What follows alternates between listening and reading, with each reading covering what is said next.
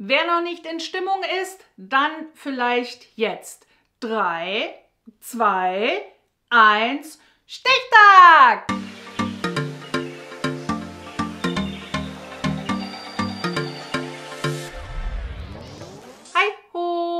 Und willkommen bei mir zu Hause.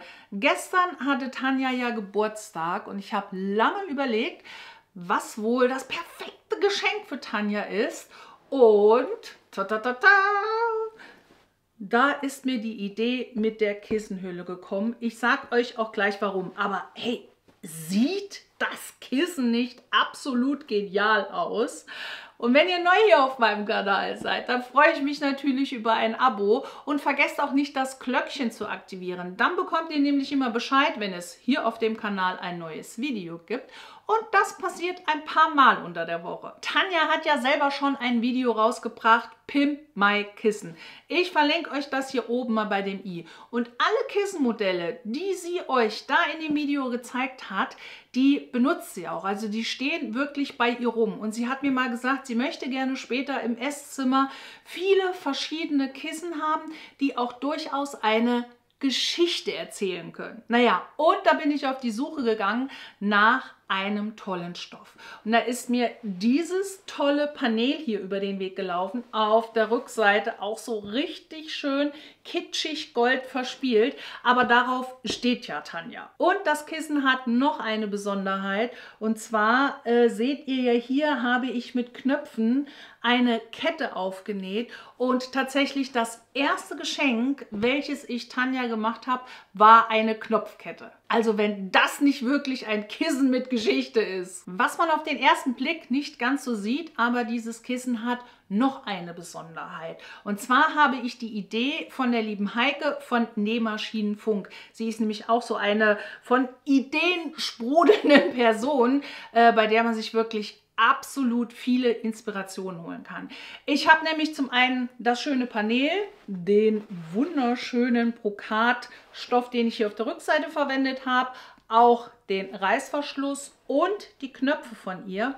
Und auf jeden Fall hatte sie da auch ein Kissen stehen und da war so ein 3D-Effekt drauf. Und das fand ich so genial, dass ich das hier bei dem Kissen auch umgesetzt habe. Ich habe dieses Jahr ja auch schon ein Kissenvideo gedreht und dabei sind die zwei knalle bunten Exemplare entstanden. Und zwar habe ich hier noch eine Paspel- oder Bommelborte einmal komplett drumherum angenäht. Also auch hier unten beim Reißverschluss.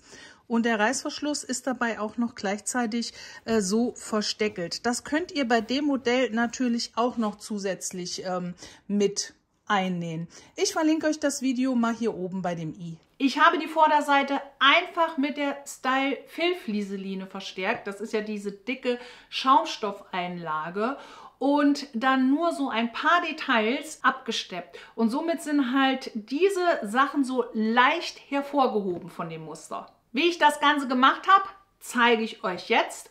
Und wenn ihr meine Arbeit hier auf YouTube unterstützen wollt, dann gebt dort dem Video gerne einen Daumen nach oben.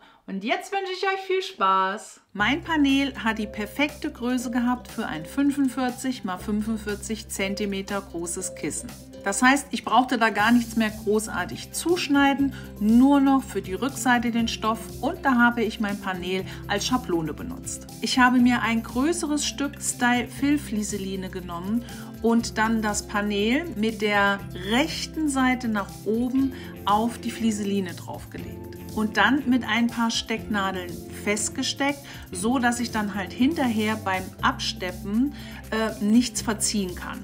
Ich habe auch hier für das Absteppen wieder eine Universalnadel genommen, meinen geliebten Teflonfuß und eine Stichlänge von 2,5 eingestellt. Und dann alles das abgesteppt, was ich halt gerne hervorheben möchte. Das kann durchaus ein bisschen fummelig sein, aber nichts, was nicht jeder hinbekommen kann. Mein Panel hat so einen 2 cm Rand, an dem kein Muster aufgedruckt ist. Und auf diesem 2 cm Rand habe ich einmal komplett drumherum genäht und somit nochmal das Panel am Rand mit der Flieseline verbunden. Die Flieseline dann knapp an der Naht entlang abschneiden, so dass dann hinterher, wenn wir das Kissen zusammennähen, nichts von der Style Flieseline mit in die Naht reinkommt. Da mein Stoff für die Rückseite so stark ausfranst, habe ich mir den vorher mit meiner Overlock versäubert.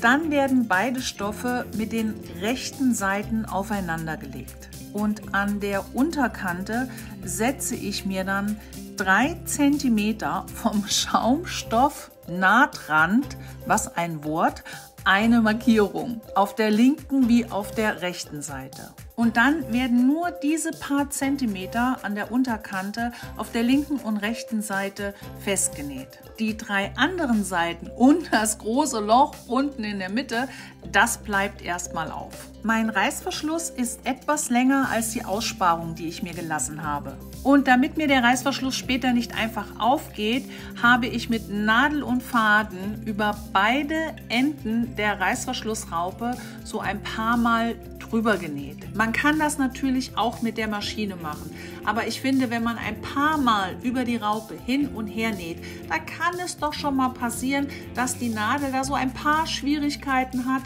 und ähm, bevor ich mir die Nadel abbreche oder die Maschine kaputt mache, nehme ich dadurch lieber Nadel und Faden. Nun lege ich den Reißverschluss mit den Zähnchen nach unten an die Unterkante von der Kissenhülle an. Also da, wo ich gerade die beiden Stoffteile an den Rändern etwas zusammengenäht habe.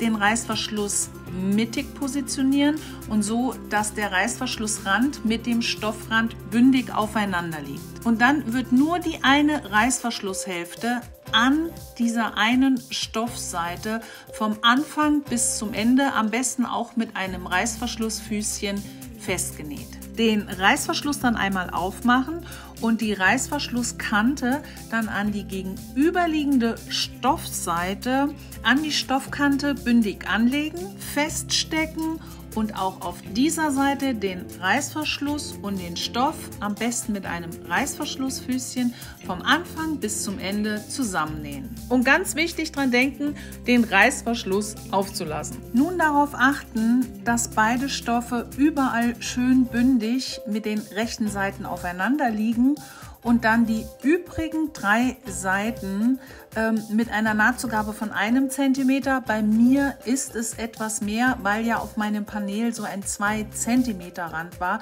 Aber das kommt ja darauf an, was für einen Stoff ihr habt. Auf jeden Fall an den übrigen drei Seiten komplett zusammennähen. Nun kann einmal gewendet werden und dann kommt nochmal Nadel und Faden zum Einsatz. Ich habe dann erstmal probiert, wie ich gerne die Knöpfe angeordnet haben möchte und mir dann einfach mit einem Trickmarker Markierungen gesetzt und dann jeden Knopf festgenäht und darauf achten, dass ihr das auch wirklich nur an der Vorderseite festnäht. Ähm, wenn ihr Vorder- und Rückseite zusammennäht, da passt ja später kein Kissen mehr rein.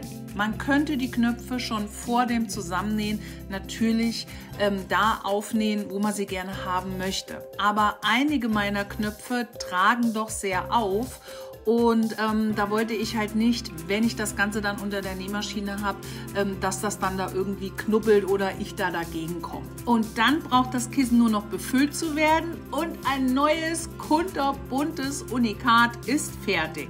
Ich freue mich jetzt auf jeden Fall schon auf ihr Gesicht, wenn sie dann das Geschenk auspacken kann. Und ähm, ja, jetzt wo das Video hier rauskommt, ist es auch nur noch einen Tag. Morgen ist der Stichtag 2.0. Es ist Wahnsinn, wie schnell doch jetzt zum Schluss noch die Arbeit rumgegangen ist. Und wir freuen uns einfach nur riesig, wenn es dann wieder heißt, 3, 2, 1, Stichtag. So, und weil auch noch wirklich viel zu tun ist, weil für mich ist es ja noch gar nicht der Freitag vor dem Stichtag, sondern noch ein bisschen früher und es sind noch einige Sachen zu erledigen, machen wir jetzt auch Schluss hier. Wenn ihr gerne noch eine andere Nähinspiration möchtet, könnt ihr auch gerne noch mal hier in das Video reinschauen. Dann wünsche ich euch jetzt viel Spaß beim Nachnähen. Bis zum nächsten Mal.